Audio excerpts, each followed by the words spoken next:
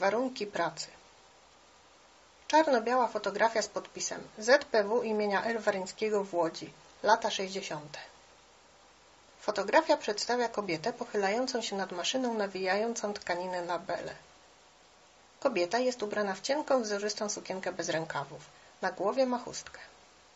W tle, za jej plecami, widoczne są wielkie bele kraciastej tkaniny. Mówi Józef Kłosiński. Yy, na wszystkich działach, naprzędzalni, zapylenie, wilgotność, huk, szum, temperatura bardzo wysoka od silników. Na tkalni to samo. No. Jeszcze dochodził większy huk.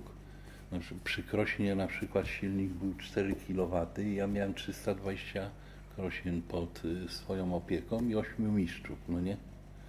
No to y, teraz możecie sobie wyobrazić, jak od, y, taka pogoda jak dzisiaj było na sali, jak było od samych silników. No, jak, jak, jak gorąco. Klimatyzacji nie Była klimatyzacja, ale ona nie wiem, nie, i to naprawdę dbali, bo lód przywozili latem, no nie, i rozpylacze na salę musiały być, dlatego że bawełna ma to do siebie, że jak jest sucho, to kacz by leżał na krośnie, wszystko by się rwało, no nie? Dlatego musiała być bawełna nawilżana.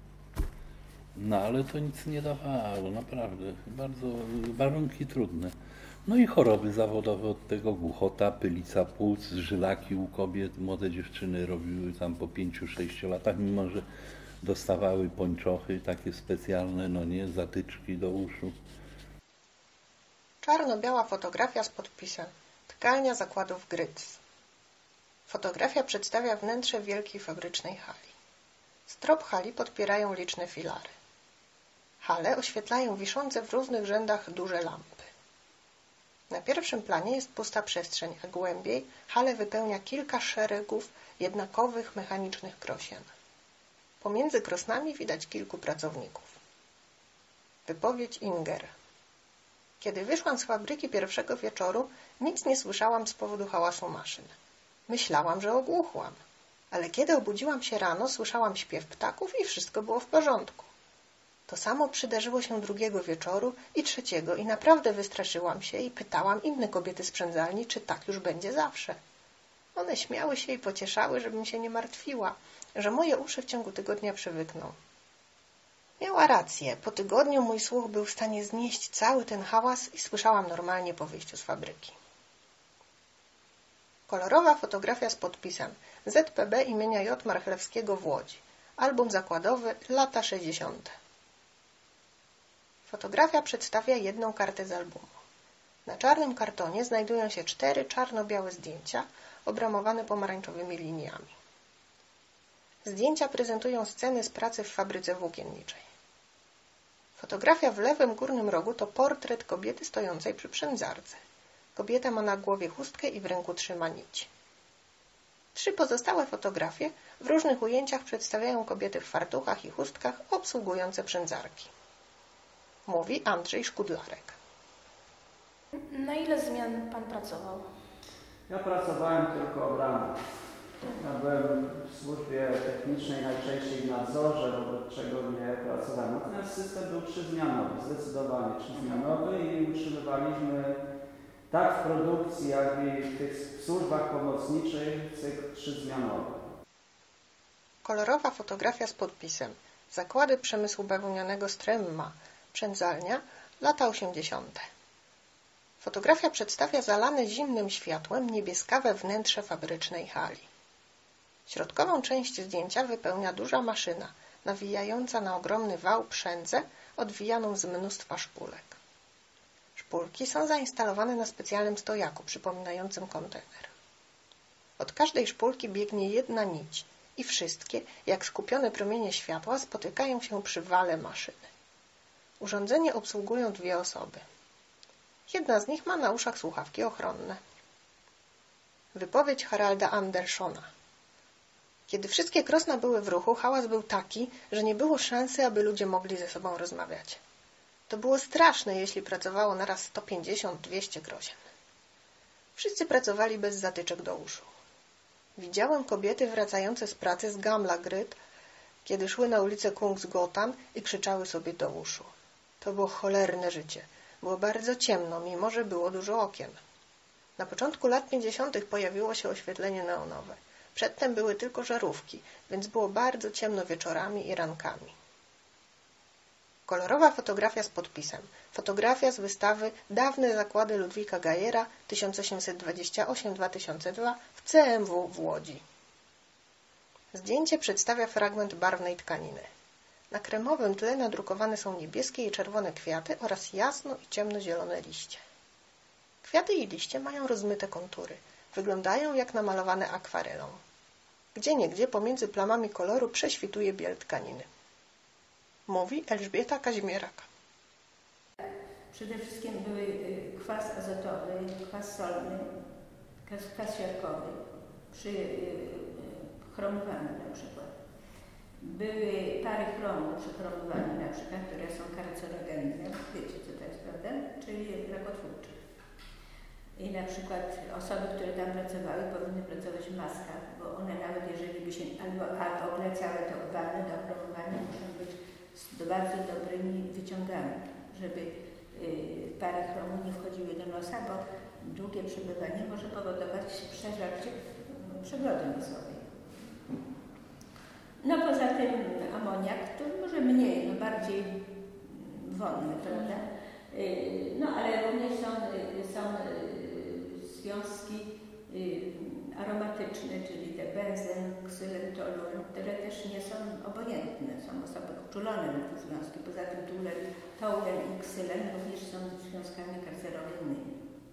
Więc tych zagrożeń jest dużo. Czarno-biała fotografia z podpisem Włókniarka przy pracy. Fotografia przedstawia kobietę stojącą przed skomplikowaną maszyną, na której znajdują się duże szpule i mniejsze cewki z przędzą. Kobieta jest zwrócona przodem do maszyny, dotyka jej rękami. Widzimy ją od tyłu. Ma na sobie sukienkę z krótkim rękawem oraz chustkę na głowie. Wypowiedź swej Wadstrom. Czasie przerwy obiadowej na ogół szliśmy do domu. To było przyjemnie wyjść na powietrze. Ale ci, co mieli daleko, przynosili jedzenie ze sobą. Nie było pokoju socjalnego, tak jak dzisiaj. Włókniarki musiały jeść przy maszynach. Zimą siadały pod ścianą. W pomieszczeniach fabrycznych było zimno. Kiedy się pracowało i cały czas było się w ruchu, nie odczuwało się zimna. Potem powiedziałam, zorganizuj nam pokój, w którym możemy przebywać, kiedy mamy przerwę. I tak się faktycznie stało. Kiedy otrzymaliśmy ten pokój, musieliśmy stemplować godzinę, o której rozpoczęliśmy i zakończyliśmy przerwę. To mogła być tylko jedna godzina. Czarno-biała fotografia z podpisem Ulica Przejazd w nawiasie Tuwima, lata 1944-56. Fotografia przedstawia ulicę w mieście. Chodnikiem i przez jezdnię idą przechodnie. Za nimi widoczny jest zwrócony frontem do ulicy stary parterowy dom z drewna ze spadzistym dachem. Okna domu wyposażone są w okiennice. Obok domu znajduje się parkan z zamkniętą bramą. Za domem i parkanem widnieje kilka niedużych drzew oraz budynki. Po środku widać tylny narożnik kamienicy z czworokątnym kominem. Widoczna część elewacji jest ślepa, jedynie na poddaszu znajduje się małe, kwadratowe okienko. Mówi Zofia Esz. Cały czas ja myślę o tym, że to było tak, że było tych takich, co nie, nie robił długo innego, ale tak, jak go zwolnili, bo go wyrzucili, bo już za dużo, nie opuszczał, nie przychodził albo pijany, no więc to bez dla bezpieczeństwa on go zwolnili. Ale poszedł do drugiej fabryki i wie pani, go przyjęli i pracował. Także, że nie było tak, żeby takich, żeby ktoś nie pracował. Wszyscy pracowali. Jeden woził bawełnę, drugi, wie pani, szpulki i, i wszyscy mieli zajęcie. No chyba, że coś, nawet jak coś ukradł, tam wie pan, wziął co tam ukradł, kawałek tam jakiejś szmaty czy czegoś ukradł, to go, to go wyrzucili, bo, bo no ale w drugim miejscu go przyjęli. Tak, żeby nie było bez pracy, tak jak teraz, mhm. Że nie ma pracy. Zresztą... Czarno-biała fotografia z podpisem Tkalnia zakładów Gryc. Fotografia przedstawia wnętrze wielkiej fabrycznej hali. Strop hali podpierają liczne filary. Hale oświetlają wiszące w równych rzędach duże lampy. Na pierwszym planie jest pusta przestrzeń, a głębiej halę wypełnia kilka szeregów jednakowych, mechanicznych krosien. Pomiędzy krosnami widać kilku pracowników. Wypowiedź Sune Andersona. Latem było na tkalni straszliwie gorąco, kiedy przychodziła fala upałów. Maszyny się bardzo rozgrzewały, tak że temperatura osiągała 30-40 stopni. Także starałem się i szedłem brać prysznic w piwnicy tak często, jak to było możliwe. Tkacze pracowali na akord, ale część się tym nie przejmowała i szła ze mną. Tak jak gorąco było latem, tak zimno potrafiło być zimą. Kiedy zaczynaliśmy pierwszą zmianę w poniedziałek, zawsze były problemy. Maszyny bardzo źle chodziły. Czarno-biała fotografia z podpisem Zakłady przemysłu bawełnianego Tuppen, lata 50. Wnętrze fabrycznej hali. Na pierwszym planie bele tkaniny zapakowane w papier z nadrukiem koguta i nazwą firmy, ułożone w prostokątne stosy. Za nimi dwie kobiety w białych fartuchach. Stoją przy stołach i pakują bele tkaniny w papier. W głębi hali dwie inne osoby pracują przy maszynach nawijających tkaninę na bele. Wypowiedź Suny Andersona W latach pięćdziesiątych zaczęto propagowanie stosowania zatyczek do uszu. Mieliśmy wkładać watę, bawełnę do uszu. Niektórzy nigdy tego nie robili. Ja próbowałem, ale to zatkało mi uszy i musiałem pójść do lekarza, żeby ją wyciągnęli. Więc długo pracowałem bez ochrony uszu. Nie lubiłem nowości. Było trudno zaakceptować zatyczki do uszu mimo zaleceń lekarzy. Mówiliśmy, że to beznadziejne i uciążliwe. Kiedy chciało się z kimś porozmawiać, trzeba było krzyczeć. Kiedy chcieliśmy rozmawiać, trzeba było wyjmować zatyczki, a wtedy one zatrzymywały się w uszach. Później pojawiły się inne rodzaje zatyczek z plastyku czy miękkiej gumy, które można było używać. To było dużo lepiej.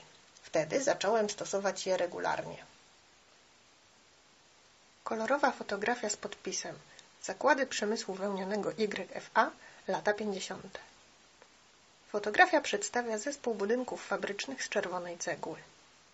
Na pierwszym planie, za ozdobnym metalowym ogrodzeniem, widać spadziste dachy niższych budynków. Pokryte są śniegiem, a z krawędzi dachu zwisa kurtyna lodowych sopli. W głębi potężny fabryczny komin, oświetlony promieniami słońca, ma intensywnie pomarańczowy kolor. Za kominem wyższy budynek złożony z dwóch części. Lewa, niższa, ma wąskie, wysokie okna. Prawa, wyższa, ma okna wielkie i szerokie. Wypowiedź Haralda Andersona Likwidacja fabryk zaczęła się od bawełny. Wydaje mi się, że kobiety radziły sobie lepiej od mężczyzn. Łatwiej im było dostać nową pracę. Część kobiet prawdopodobnie wróciła do prac domowych. Nie było możliwe zastopowanie zamykania fabryk. Nie zawsze byliśmy informowani o tym z wyprzedzeniem. Otrzymywaliśmy tylko wiadomość, że teraz fabryka jest likwidowana. Nie mieliśmy żadnej władzy, ani związkowej, ani politycznej. Nic nie dało się zrobić. Najłatwiej było podczas likwidacji YFA, a najtrudniej z Nyborgs. Szukano miejsca dla trudnej wiekowo grupy pracowników. Nikt nie zatrudnia chętnie sześćdziesięciolatków. Kolorowy rysunek. Podpis głosi plakat ze zbiorów MTN w Łodzi. Rysunek przedstawia wysoki, czerwony budynek fabryczny. Budynek ma duże okna złożone z małych kwadratowych szybek. Niektórych szybek brakuje. Miejsca po nich wypełnione są białymi kłębuszkami. U góry widnieje napis. W wielu zakładach wybite okna zatyka się bawełną. Przed budynkiem stoją dwaj mężczyźni w płaszczach i patrzą na okna. Pod spodem widnieje dialog. Jakie to zakłady? Nie widzisz? Bawełna.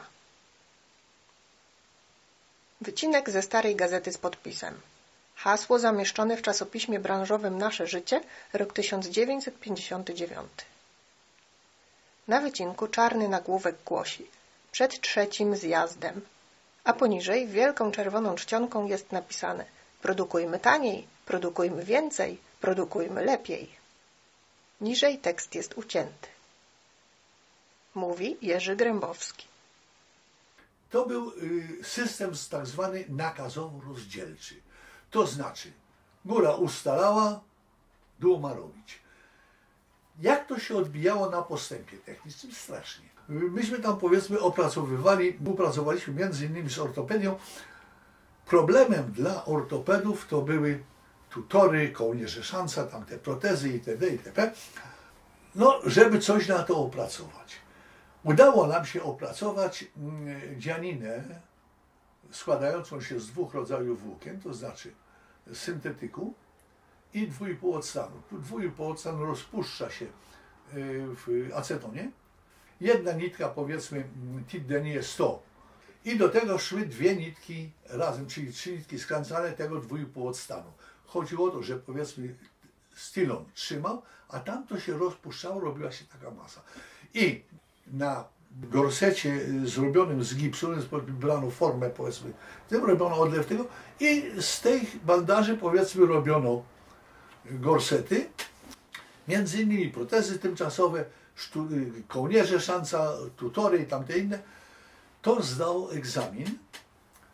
No myśmy współpracowali wtedy, to tak, tylko tak na moim razie z profesorem e, Degą z Poznania, z Konstancinem, z profesorem Weissem, z Otwockiem tam było sama ten, ten dla, dla małych dzieci. Norm, na normalny gorset trzeba było czekać od pobrania wymiaru, bo to było ze skóry robione, około pół roku czasu dziecko. Jak dziecko po pół roku dostało, to już pasowało jak, przepraszam, jak garbaty do ściany. Natomiast dzięki tym opaskom można było w ciągu 40, tak stwierdzili lekarze, 48 godzin. No i co? Komisja leków, zespół do spraw artykułów sanitarnych zatwierdził, ortopedzi podają, fajno, my potrzebujemy tego 4 tony w ciągu, w ciągu roku, 4 tony to jest co kwartał tona, a zakłady padają pocałujcie nas tam, gdzie kura jajko nosi, bo tonę to my robimy w 3 dni i nie będziemy przestawiać maszyny dla waszych tym. I ze względu na te nakazowo-rozdzielcze system, takie rzeczy brały w łeb. Czarno-biała fotografia z podpisem Zakłady Przemysłu Wełnianego YFA, Przędzalnia, lata 60. Fotografia przedstawia wnętrze hali fabrycznej. W centrum zdjęcia widoczna jest alejka pomiędzy przędzarkami. Pod sufitem, równolegle do alejki, wisi długa, jasno świecąca lampa. Na pierwszym planie widoczne są boczne obudowy maszyn z okrągłymi tarczami wskaźników oraz przełącznikami.